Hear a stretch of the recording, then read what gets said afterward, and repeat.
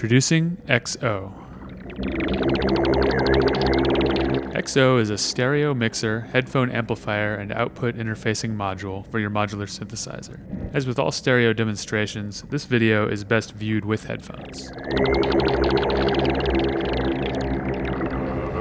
XOH consists of two stereo input channels, channel A and channel B, each with independent level control. The left input of each stereo input channel is normal to the right input for mono use. Just patch your mono signal to the left input and leave the right input unpatched, and you will get the signal patched in the left channel in both the left and right outputs. Or patch both left and right for stereo sound.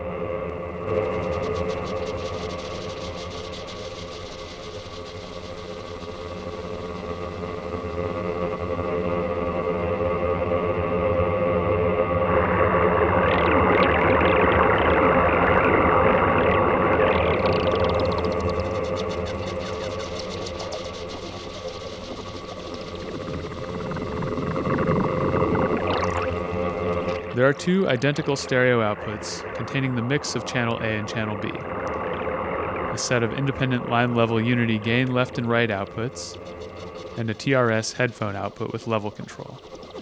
The left and right line outputs are optimized for use with line level inputs, so you do not need to worry about overdriving your line level destinations with the hot modular level signals typical of a Eurorack modular system.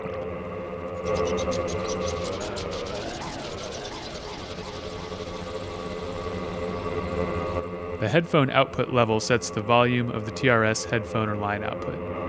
The headphone output is a tip ring sleeve jack that provides a stereo output on a single jack. This output uses the same high quality driver circuit found in the CV bus and Rosie modules.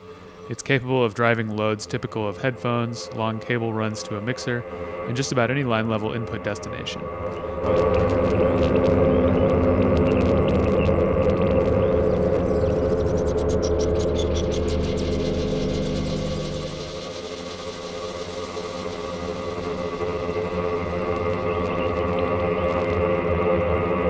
The XOH is included in the tape and microsound music machine.